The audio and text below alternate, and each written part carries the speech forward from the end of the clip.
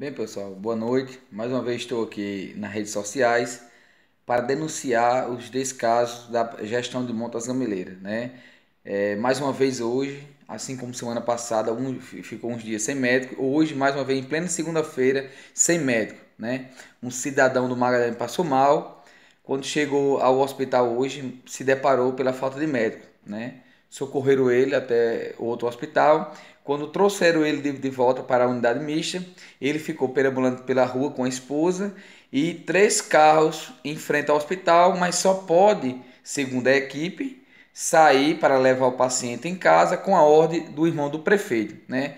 E tem que a pessoa sair, o cidadão sair até a casa do irmão dele para poder pedir para ele liberar. Né? Isso é uma falta de respeito, é uma irresponsabilidade, um ato desse. Por quê? Se tem uma equipe trabalhando no hospital, né, a equipe tem que ter todo o aval né, e toda a autonomia para liberar o carro para levar um paciente na zona rural.